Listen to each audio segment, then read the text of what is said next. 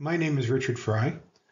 I am a child neurologist who studies and treats children with autism. I have done a lot of research on new treatments for children with autism.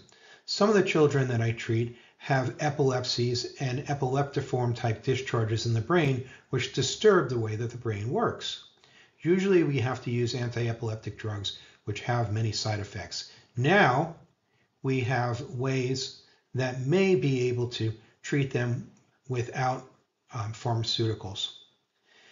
We are targeting the mitochondria, one of the other things that I research, um, to improve the energy in the brain.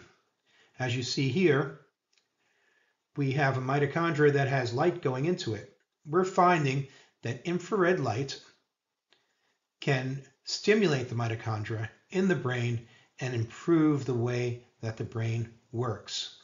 We're using the device, which you can see up here, which goes on the head only for a limited number of minutes, several times a week, and improves the way the brain works. If we can show that this will improve seizures and epileptiform discharges, we will have a new, safe, non-toxic treatment for children that can improve their lives.